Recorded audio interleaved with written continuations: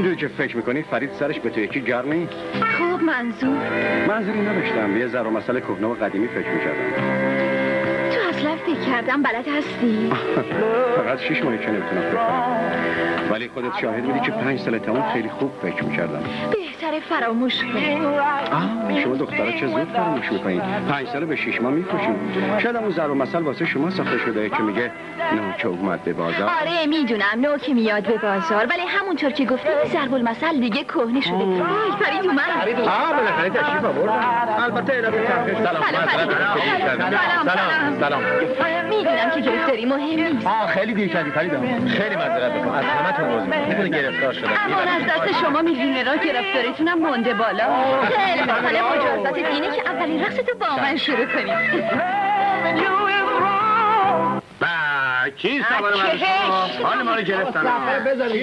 بچه ها هرچی رقصیده دیگه بسته چرا؟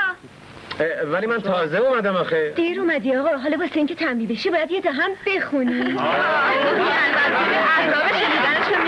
حالا ما چه گناهی کرده که باید زجر بکشیم؟ بخونی نمیشه منو معاف کنی. ناز نکن دیگه. اگه عروس بود تا حالا بله رو گفته بود رفتون تو هش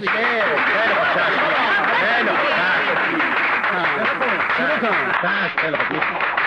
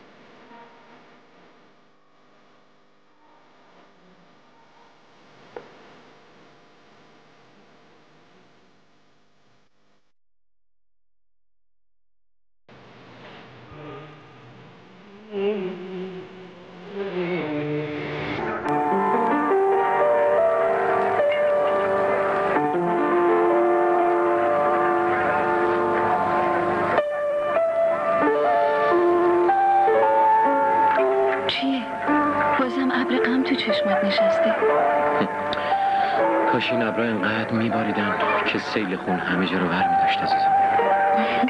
بازم که شعر گفتی. کدوم شاعری می‌تونه به چشمای مست تو خیلی ساکت بمونه؟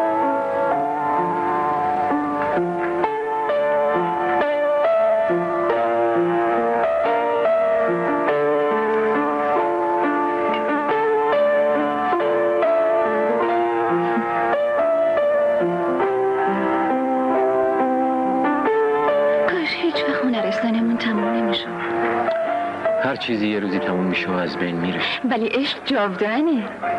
عشقم که به دروغ آلوده باشه دیر یا زود میمیره. چطور ممکنه دو نفر که همدیگر رو دوست دارن به هم دروغ بگن؟ گاهی وقتا آدم ها واسه اینکه محبوبشون رو از دست ندن ناخداگاه به دروغ آلوده میشن. تو تا حالا به من دروغ گفتی؟ من؟ چه گردمند قشنگی داری عزیزم.